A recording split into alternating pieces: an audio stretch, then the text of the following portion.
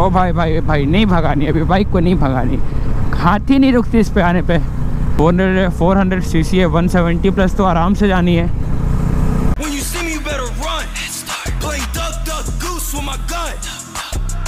When you see me, you better run.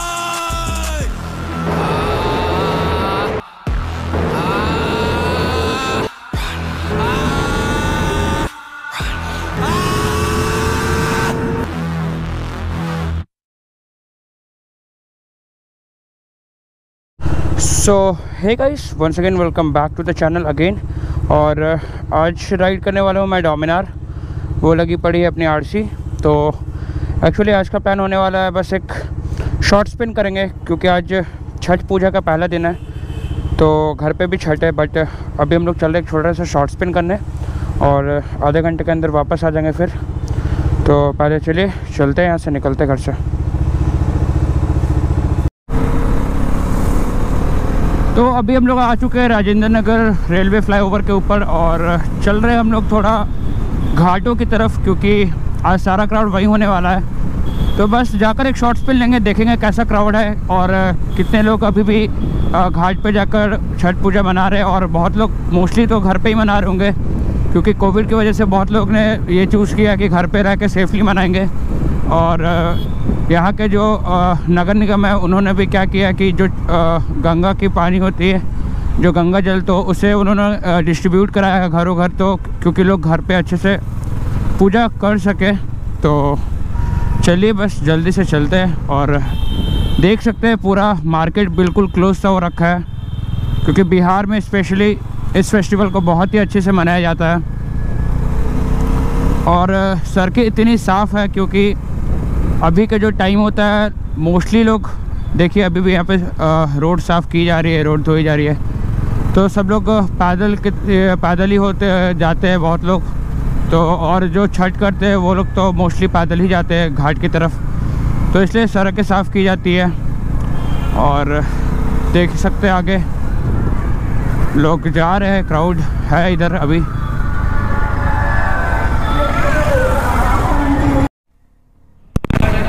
और भाई ये देखो कैसे पूरे रोड सजे हुए हैं।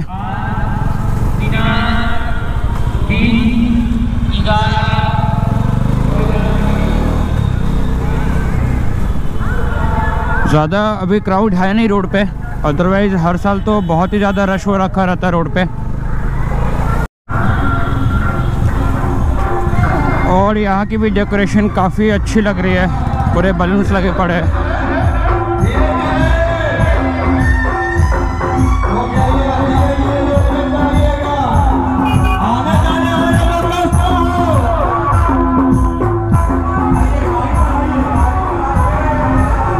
से बस कॉपीराइट ना पड़े म्यूज़िक पे।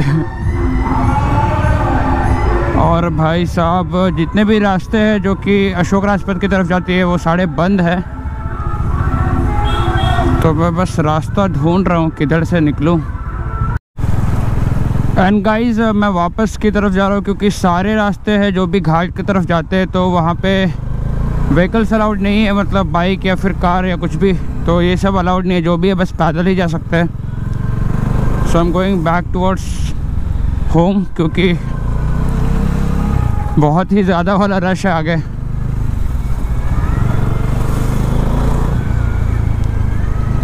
और जितने भी रास्ते मतलब इस रोड यहाँ से जाते हैं अशोक राजपथ की तरफ़ तो सारे रास्ते बंद है।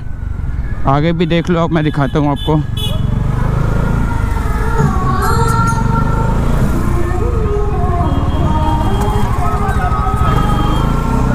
ये देखो, ये सारे वापस जा रहे आगे से किसी और रास्ते में, क्योंकि ये रास्ते सारे बंद हैं। तो they don't have any option और वहाँ से पैदल ही चल के जाना पड़ेगा। और मैं बस इसलिए आज निकला था कि थोड़ा ऑब्ज़र्व कर सकूँ कि कोविड के टाइम में मतलब लोग अभी भी जा रहे हैं घाट पे या नहीं जा रहे ये देखो, आगे वाहन जाने का मना है तो यहाँ पे लिखा हुआ है। सो आई गो बैक क्योंकि फिर कोई मतलब बनता ही नहीं, जब आगे जा ही नहीं सकते तो।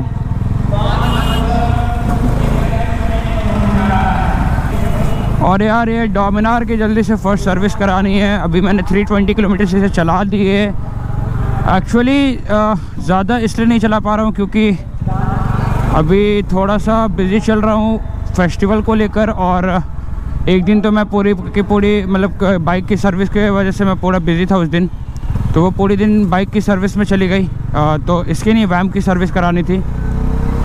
मैं प्रेफर करता हूँ बाइक की सर्विस बैठ के मतलब रुक के ही सर्विस सेंटर पे करवा लूँ, क्योंकि एक तो मैं लिक्की मॉली यूज़ करता हूँ। तो अगर मैं वहाँ से हट जाऊँ तो शायद वो लोग डाले या ना डाले। तो इस वजह से मैं हमेशा ये चीज़ का ध्यान रखता हूँ। और गाइज़ आप लोग भी अगर कोई अच्छी ब्रांड की अगर इंजन ऑयल यूज़ कर रहे हो तो प्लीज़ आप लोग आँख के सामने ही डलवाया करो। अदरवाइज़ आप लोग नहीं जानते कि वो लोग क्या यूज़ करेंगे, क्या नहीं। तो प्लीज़ ये सब चीज़ का थोड़ा ध्यान रखा करो, क्योंकि बाइक आपकी है और इसके केयर भी आप ही को करनी पड़ेगी। प्लान तो था अभी कि घाट की तरफ़ जाते और आप लोग को दिखाते थोड़ा बट अनफॉर्चुनेटली नहीं जा सकते अभी। और पैदल उतना दूर जाकर बहुत ही भीड़ होने वाला तो कोई फ़ायदा है नहीं। क्योंकि घर पे भी है छठ तो बहुत लेट हो जाएगी, वहाँ अगर चले गए पैदल तो। और भाई, एक सुबह होगी कल जो सेकेंड डे होता है छठ का तो सुबह वाले में बिल्कुल सुबह चार बजे लोग उठ के करते पूजा। तो जो सनराइज़ होती है, उस टाइम की पूजा होती है और अभी सनसेट की जो होती है उस टाइम की तो जो लोग भी बिहार से नहीं हो, उन्हें शायद पता नहीं हो। तो ये पूजा सूर्य भगवान की होती है और ये सनसेट के टाइम होती है डे वन में और डे टू में सनराइज़ के टाइम तो अब वापस से जा रहे अपने कंकड़ बाग की तरफ़। ओ भाई भाई भाई, नहीं भगानी अभी, बाइक को नहीं भगानी। हाथी नहीं रुकती इस पे आने पे। बट स्टिल मैं इसे सेवेंटी एटी के ऊपर नहीं ले जा रहा हूँ। अभी तक मैंने हंड्रेड टच नहीं किया है। और तो बाइक की जब मैंने फ़र्स्ट फ्यूल टैंक कराई थी फुलअप तो बाइक ने 26 किलोमीटर पर लीटर की माइलेज दी, जैसा कि मैंने कैलकुलेट किया। तो सर्विस के बाद माइट भी ज़्यादा दे। बट शायद ज़्यादा नहीं भी दे और कम दे क्योंकि अभी मैं बहुत ही इकोनॉमी मोड में बाइक को चला रहा हूँ। बट सर्विस के बाद थोड़ा सा मतलब हाई रेफ तो होगा ही। तो इस वजह से शायद और कम दे या ऐसा ही दे। तो यही होने वाला है इसका माइलेज 26 टू 27 के एम और इधर से लेते हैं राइट थोड़ा।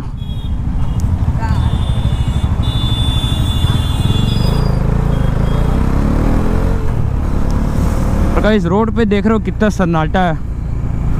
क्योंकि मोस्टली लोग ना जो भी पटना से प्रॉपर बिलोंग नहीं करते, सब लोग अपने गाँव चले जाते हैं। तो इस वजह से जितने भी मार्केट्स हैं और जितने भी स्टोर्स दुकान वगैरह, सब कुछ बंद हो रखे होते हैं। एक्सेप्ट डोमिनोज क्योंकि ये तो भाई ऑल टाइम खुला रहता है होली के दिन भी खुला रहता है। और क्या ही बोलना। तो ये सब का पता नहीं क्यों, इन लोग के शायद नहीं बनती होगी। बट भाई ऐसे रोड साफ़ साफ़ देखने में क्या अच्छा लगता है? ओ ओ ओ ओ, ओ भाई आराम से। और अभी थैंक गॉड मैं डोमिनार चला रहा हूँ क्योंकि टेल टाइडी होती है अपनी वैप में और पानी में बिल्कुल स्लो करना पड़ता है। अदरवाइज़ पूरी की पूरी शर्ट गंदी हो जाती। अभी मैंने जस्ट बात लिया और निकला सोचा कि मैं पहले एक शॉर्ट स्पिन ले लेता हूँ छोटी सी एक ब्लॉग शूट कर लेता हूँ फिर चलूँगा पूजा पे। तो भाई, इतना खाली खाली सा रोड देखकर भगाने का तो जी कर रहा है बट अफसोस। ये देखो, सारे कितने साफ़ साफ़ रोड है। अफसोस, इसे अभी हम भगा नहीं सकते हैं बट कोई नहीं। जस्ट पहले सर्विस होने की वेट है। और चाहूँ तो मैं जल्दी करवा सकता हूँ सर्विस बट मैं सोच रहा हूँ कि सिक्स सेवन हंड्रेड किलोमीटर्स पे करवा लूँगा सर्विस क्योंकि बाइक मैंने ज़्यादा मतलब कि हाई रेफ पे चलाई नहीं बहुत ही स्मूथली चला रहा हूँ तो जल्दी सर्विस कराने का कोई मतलब नहीं बनता। ऑल दो एक महीने की टाइम होती है नई बाइक की सर्विस कराने की तो उससे पहले ही करा लूँगा। गाइज़ मैंने आ, तीन दिन में बाइक को 200 किलोमीटर चला दिया था जब मैंने बाइक लिया था। मैंने दस तारीख को बाइक लिया था। और थर्टीन को दिवाली से एक दिन पहले मतलब तो मैंने उस टाइम 200 किलोमीटर चला दिया था बट दिवाली के बाद से मैं भी लेज़ी हो गया बाइक भी नहीं चला रहा। तो एक और इशू था, अपना माइक ख़राब हो चुका था, क्योंकि लास्ट सारे ब्लॉग्स आपने देखे होंगे।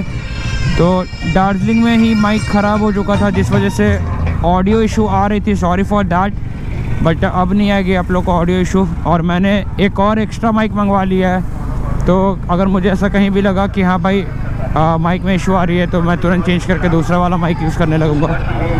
तो आई विल कैरी दैट अगर मैं कभी अभी मतलब कोई भी दूसरा अगर राइड प्लान करूँगा तो।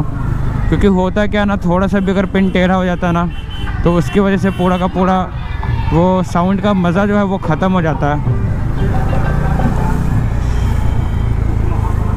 तो भाई यही है कुछ ऐसा सीन और आगे पूरा सब्ज़ी मार्केट है तो उधर तो जाएँगे नहीं। मैं तो बस ये सोच रहा हूँ इसकी कब सर्विस कराऊँ जल्दी से। टॉप एंड करनी है भाई बी एस सिक्स की टॉप एंड मैंने मैंने खुद नहीं चलाई है B S six top end की अभी तक।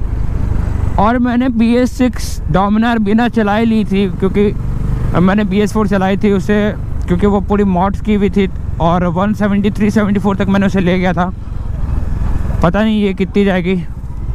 पावर ड्रॉप तो नहीं हुई है बट स्टिल मैं सोच रहा हूँ कि अगर ये बाइक 175 टच कर जाए तो एनएफ है। उससे ज़्यादा भगाना ही नहीं है, क्योंकि इसे हमने भगाने के लिए लिया ही नहीं है। जस्ट टू टच की मतलब हाँ ये टॉप एंड इतना अचीव कर सकती है बाइक 400 400 सीसी है 170 प्लस तो आराम से जानी है। बट 175 प्लस या 175 टच करती है नहीं, वो तो फ़र्स्ट सर्विस के बाद ही पता चलेगी। और अभी मैंने इसमें कुछ भी एक्स्ट्रा मॉडिफिकेशन नहीं करवाया है क्योंकि मुझे एक बार स्टॉक में चेक करना है। क्योंकि इसमें जब आ, अगर मैं लगा दूँगा इंजन गार्ड वगैरह तो बाइक की वेट और बढ़ जाती है ऑलरेडी इसकी 180 केजी ड्राई वेट है 180 83 केजी है। और हमेशा मतलब कि हम लोग सारे गाड़ियों में टैंक फुल ही रखते हैं। क्योंकि टैंक फुल रखने का एक रीज़न है बाइक में अभी जितनी भी नई बाइक्स है सब में एफआई सिस्टम होती है। तो जो फ्यूल इंजेक्टर होता है उसमें अगर आप फ्यूल कम रखोगे तो मतलब कि हमेशा बाइक दो तीन लीटर होनी चाहिए, क्योंकि वो जो इंडक्शन पंप होता है, वो पूरी की पूरी पेट्रोल में डूबी रहनी चाहिए। अदरवाइज़ जैसे वो सूखता है तो फिर कुछ दिनों बाद वो जल्दी ख़राब हो जाता है। तो मैं प्रेफर करता हूँ कि बाइक में हमेशा टैंक फुल ही रखूँ। अगर मैंने अभी राइड किया तो जैसे एक दो पॉइंट नीचे आता है, मैं जाकर फुल करा लेता हूँ तो वो ज़्यादा अच्छा होता है। क्योंकि यार अगर एफआई सिस्टम ख़राब हुआ तो अच्छे खासे फटके पड़ सकते हैं, आठ दस हज़ार रुपये का। बस यही था आज का छोटा सा वीडियो। और अगर आपको ये वीडियो पसंद आया तो लाइक करें शेयर करें और चैनल को सब्सक्राइब करो जल्दी से। और यहाँ भी गियर इंडिकेटर है और यहाँ भी गियर इंडिकेटर है। तो ये चीज़ वहाँ से अपडेट के बाद आई थी और पहले सिर्फ़ यहीं पे गियर इंडिकेट हो रही थी। तो टाइम दोनों जगह बता रहा है और गियर इंडिकेटर दोनों जगह है। एक्चुअली पहले यहीं पे सिर्फ़ था बट बहुत सारे लोगों ने कंप्लेन किया क्योंकि यहाँ पे देखना राइड करने का टाइम पॉसिबल नहीं होता है। तो इस वाले कंसोल में देना ज़्यादा अच्छा था। अब यहाँ है तो इसे हटा भी नहीं सकते तो इस वजह से दोनों जगह टाइम और गियर इंडिकेटर दी हुई है बाइक में। और इस बाइक को मैंने अभी तक 325 किलोमीटर मतलब अभी हो गए तो इतना चलाया है और मुझे अभी तक कोई भी इशू नहीं आई है। बहुत ही स्मूथली राइड हो रही है, बहुत ही अच्छे से। और 400 सीसी में भाई आपको अगर 26 की माइलेज दे रही है तो and if I am satisfied with that मुझे मतलब माइलेज की इशू नहीं है। इससे ज़्यादा मुझे चाहिए भी नहीं। हाँ मतलब चाहिए। ऐसा नहीं नहीं चाहिए। मतलब इससे ज़्यादा मैं एक्सपेक्ट नहीं कर रहा। क्योंकि भाई, अगर 400 सीसी है, थोड़ा हाई रेफ करेंगे तो फिर माइलेज तो ड्रॉप होगी। हाँ अगर इकोनॉमी में अगर प्यार से चलाऊँगा तो माइट भी दे दे। फोर्टी सॉरी फोर्टी नहीं थर्टी फोर्टी एक्चुअली वैम की बोलने की आदत हो गई। तो वो तो भाई 155 सीसी इंजन है तो उसका इससे कंपैरिजन करना ही नहीं है। तो यही था आज का छोटा सा वीडियो। तो चलिए फिर मिलते हैं अगले ब्लॉग में। Until then bye bye